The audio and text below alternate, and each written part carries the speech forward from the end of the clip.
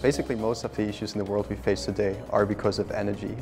And there's an ever-growing need for low-cost, easy, accessible power generation. You want to be able to take the light from the sun and convert it into electricity. By about 2050, two-thirds of the world is going to live off of the grid.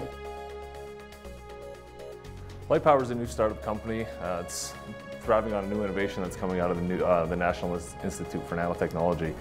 The technology allows plastic solar panels to enter entirely new markets because of the lifetime advantage that we have. What light power uh, will do for us is to give us the ability to capture uh, solar energy um, that otherwise wouldn't be captured. Of course, uh, trying uh, to lower uh, utility bills for the end user and the consumer. Light Power's product has a very strong lifetime stability advantage, the strongest compared to our competition.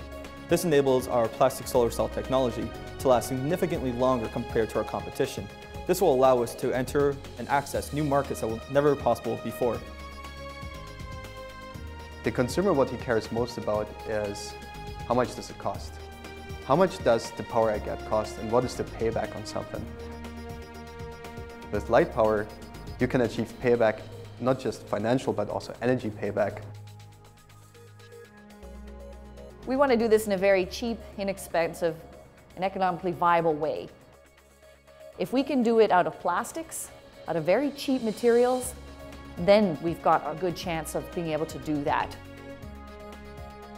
What you have is a breakthrough materials technology, an organic light converter that lives for a long time. And any time you have a breakthrough in materials technology, you open up whole new worlds of applications. Light power will be setting up local jobs, um, a high-tech industry that is complementary to the other energy bases of this province.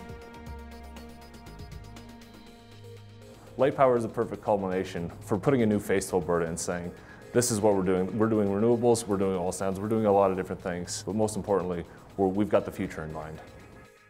When you have this type of technology uh, available to you and you're an emerging player, uh, it really helps uh, to sell the product to the end users because the customers uh, end up getting excited about it as well. In Alberta, it's all about pioneers. Pioneers have built up this country. Light Power is the first plastic solar company in Canada, and we are here to build value for this province.